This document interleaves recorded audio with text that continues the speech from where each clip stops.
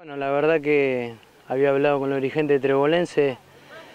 por un tema familiar que no, no tenía tiempo para entrenar y bueno, me salió esta oportunidad de venir acá a Americano, acá a los Pellegrini, me quedaba cerca y bueno, la verdad que nos pusimos en contacto con, con Ciro, con los dirigentes y bueno, llegamos a un, acuerdo y bueno, acá estoy. Eh, con el trabajo se me complicaba entrenar allá en el club, entre Bolense y bueno, acá como que se aliviaron un poco más las cosas con mi familia y esas cosas, con el tema de mis nenes también, así que bueno, la verdad que cuando me, me hablaron de acá vine con una idea y bueno, la verdad que era como, como uno quería, uno no quería dejar y bueno, la verdad que eh, me siento todavía con muchas ganas de seguir compitiendo y bueno, eso es lo que más importa. No, no, la verdad que seguramente me voy a retirar entre Bolense porque es una cuenta pendiente porque el año 2020 no se jugó, pero, pero bueno, era también pensar también en la familia y, en muchas otras cosas que, que Trebolense eh, se me hacía muy difícil estar allá y bueno, la verdad que cuando salió esta oportunidad no lo dudé y bueno, ya me puse en contacto con el Beto, con los dirigentes y llegamos a un acuerdo y bueno, acá estoy. La verdad que Americano siempre es un club que ha peleado cosas importantes, eh, siempre ha peleado los torneos y bueno, eso fue una decisión también de, de, que pueda llegar acá, que sabiendo que para seguir compitiendo y pelear cosas importantes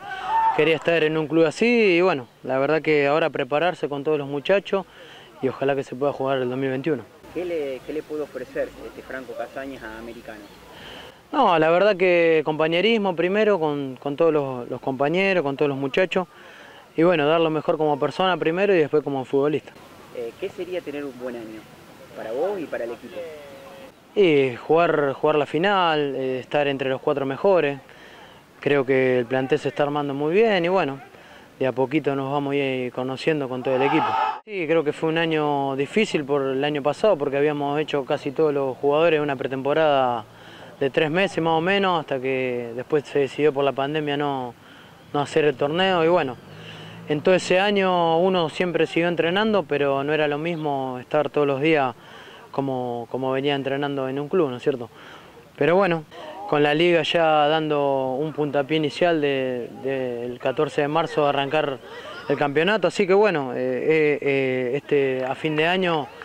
eh, ya casi todos los equipos se estaban armando y bueno, Ahora estamos acá en Americano y esperemos dar lo mejor. ¿Cómo te recibió el equipo, el grupo? No, la verdad que bien. Siempre he jugado con Jonah Portesio y con Damián Turco. Los únicos compañeros que tuve con Damián Turco estuve en 2016 en, en Trebolense. Y bueno, con el Jonah jugué en Sastre, pero realmente me han recibido muy bien. Más allá de que siempre fuimos rivales, pero bueno, ahora somos compañeros y, y vamos a tirar para el mismo lado.